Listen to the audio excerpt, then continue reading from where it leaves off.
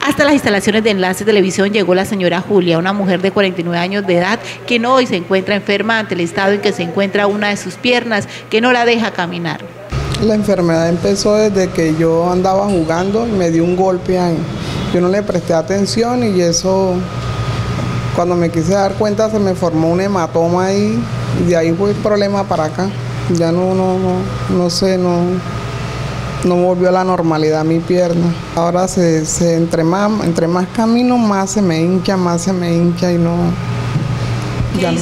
Asegura que se está muriendo en vida ante la frustración que siente al no poder hacer nada y mucho menos trabajar.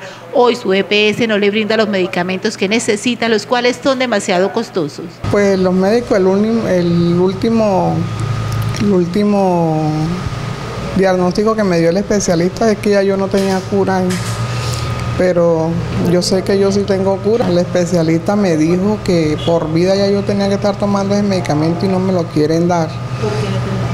Pues no entiendo por qué, porque que porque no lo han autorizado allá en Bucaramanga o algo. Siempre me dicen esa excusa. A su problema se le suma el de su hijo, un niño con síndrome de Down que también ha empezado a tener problemas de salud. Él estaba operado del corazoncito porque tenía un problema del pulmón, le estaba cayendo sangre en un pulmón, pero gracias a Dios ya él ha mejorado. Ahora se le presentó otro problema ahí con unos cángulos que tiene, entonces eso me tiene desesperada. Unas inyecciones, unas inyecciones que llaman bezetazona. Y la señora de la droguería me dice que hay una que es mejor, pero que es muy cara. Esa vale 120 mil pesos y yo de dónde. Hoy pide la ayuda de la comunidad barranqueña. Asegura que la única manera de velar por su familia es vendiendo sancocho los domingos o haciendo rifas y ya no sabe qué hacer ante su condición.